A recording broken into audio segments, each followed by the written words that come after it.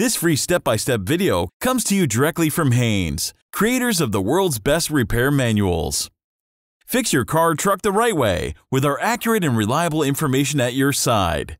You can complete more than 200 jobs on this vehicle when you purchase the complete online manual at Haynes.com. Air filter replacement. Open the door and pull the hood release lever located on the driver's side kick panel. Slide the hood safety latch to the left, then raise the hood upwards and place the hood prop into the hole on the hood. Release the filter housing cover clamps at the end of the housing.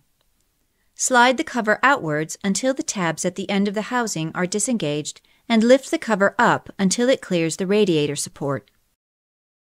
With the cover raised, remove the air filter element, noting the direction that the air filter was installed. Clean out the air filter housing before installing the filter. Install the filter into the housing, making sure it is seated evenly. Install the filter housing cover by first inserting the rear tabs, then pressing the end of the cover down and securing the clamps.